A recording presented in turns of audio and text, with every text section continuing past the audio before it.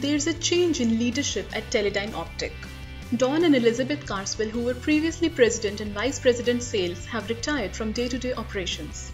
Michel Stanier, who was the EVP for business development, has taken over the command as the new chief operating officer of Teledyne Optech. For over 40 years, under the Carswell family leadership, Optech has put LiDAR on the map and led with innovative products that spawned entire industries. Today, we turn a big page in the life of our company. We are now Teledyne Optech, but our DNA remains the same. And being part of the Teledyne family opens tremendous opportunities for us. Opportunities to help our clients do more, do it faster and easier. And as always, to the highest level of accuracy.